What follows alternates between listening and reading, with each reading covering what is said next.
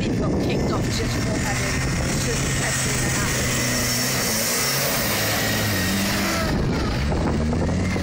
Do it You see how much hair he got?